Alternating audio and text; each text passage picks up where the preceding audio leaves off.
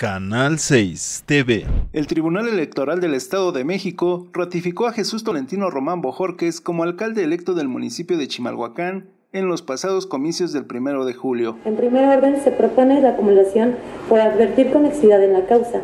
Los actores pretenden que se declare la nulidad de la elección porque supuestamente existieron irregularidades graves que no fueron reparadas.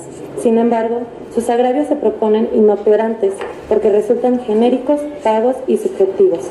En sesión solemne, el tribunal declaró infundados los agravios, esto después de una exhaustiva revisión de los procesos que no modifican el resultado de la elección. Y es que el partido Movimiento Regeneración Nacional, pese a obtener menor número de votos, no aceptó la voluntad popular e impugnó ante el Tribunal Electoral.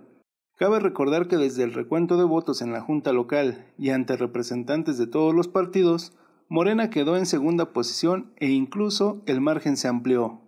Con esta resolución se ratifica el triunfo de la planilla del Revolucionario Institucional en Chimalhuacán para alcalde y miembros del Cabildo.